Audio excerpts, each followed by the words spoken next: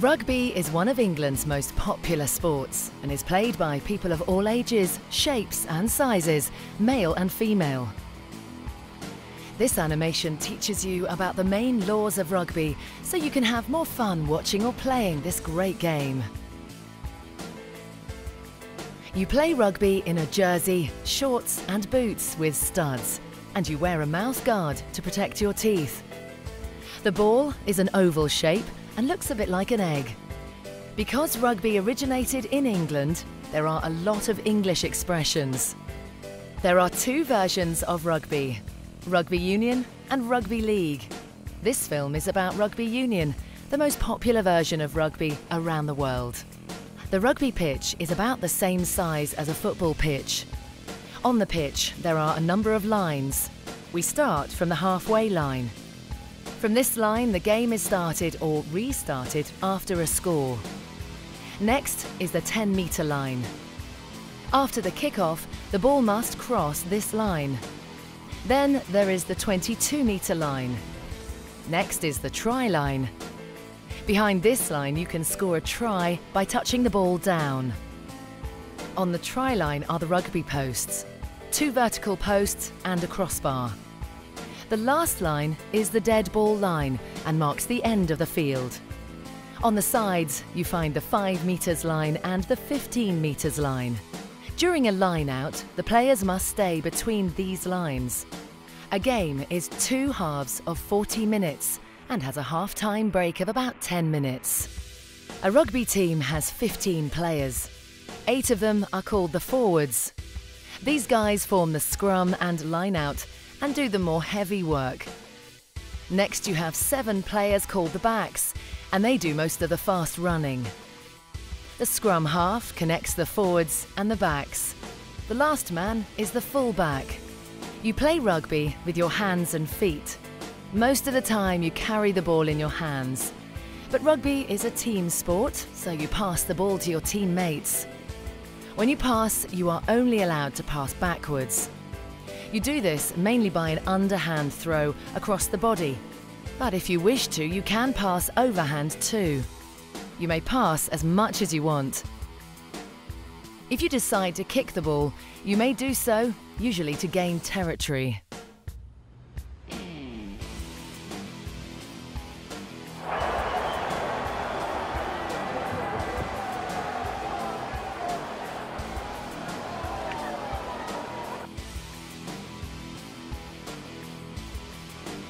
There are several ways to score points.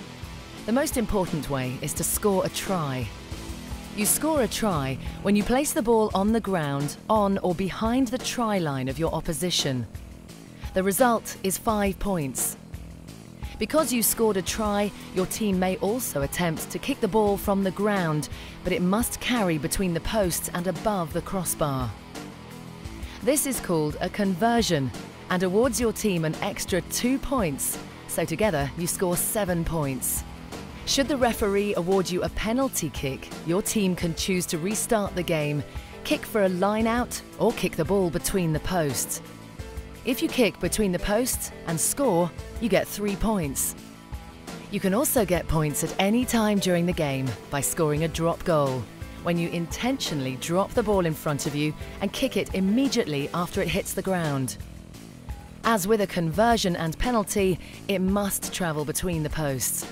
This also wins your team three points.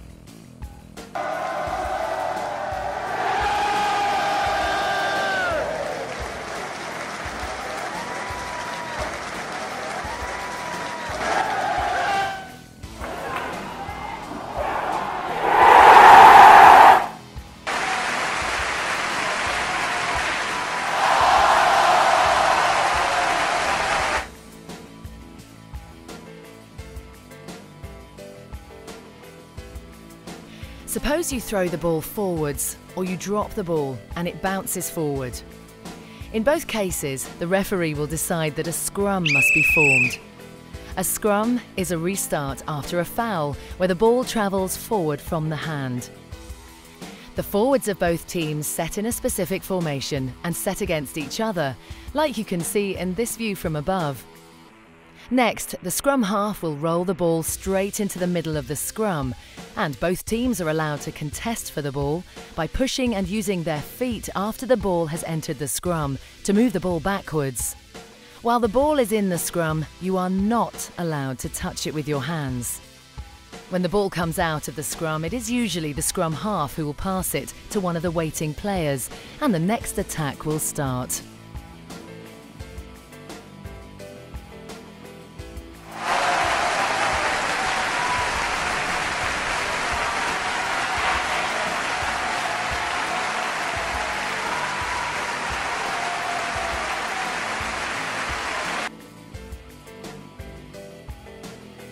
If the ball leaves the field of play because it's kicked out, or because a player with the ball is tackled and falls across the touchline, or the foot of a player who is holding the ball touches the touchline, the game will be restarted with a line out. To form a line out, the forwards of both teams will stand in separate lines between the 5 and 15 metre lines. Next, the ball will be thrown straight in between the two lines by the team in possession. The player who can jump the highest, and he may be lifted by his teammates, may catch the ball or tap it to his scrum half. With this ball possession, they can start to attack again.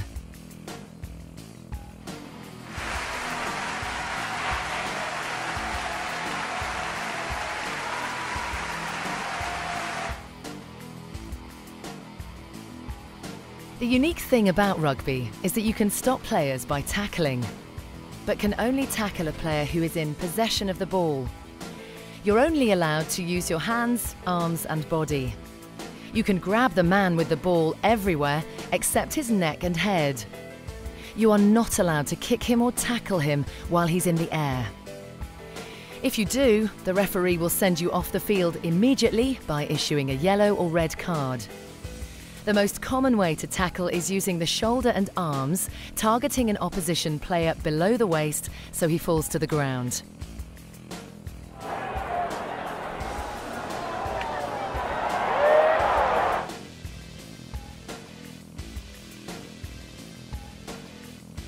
During the game, you will often see two situations, a ruck and maul. But what are these? Suppose a player carrying the ball makes contact with a player who wants to tackle him. But instead of falling on the ground, they keep standing up. Immediately, teammates of both teams will join this formation to compete for the ball, which will be somewhere in the middle. This formation is called a maul. The man with the ball will try to turn his back to his opponents and make the ball available for his teammates. If a maul takes too long, the referee will award a scrum in favour of the team moving forward.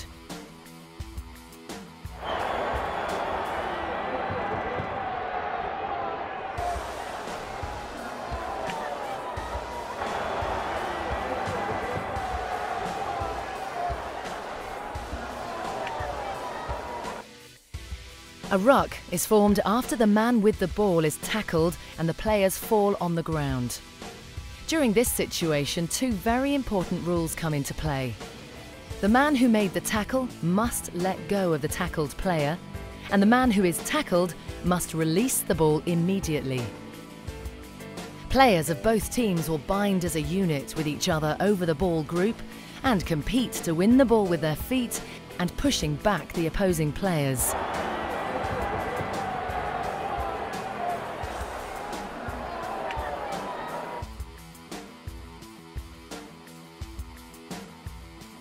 There are several ways to be offside.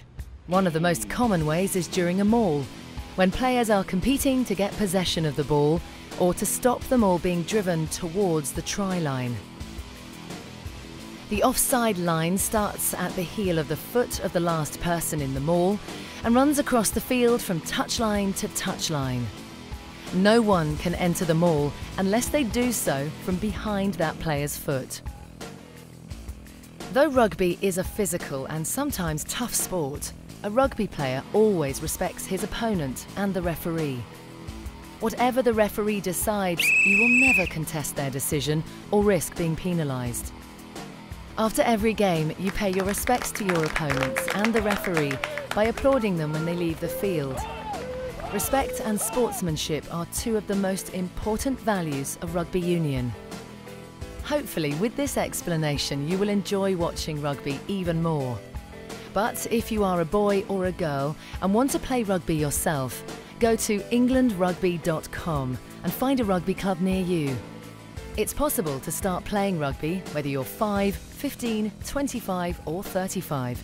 It's fun for all ages. Your local club will train you to become a rugby player so you can play safe and ensure you enjoy this fantastic game.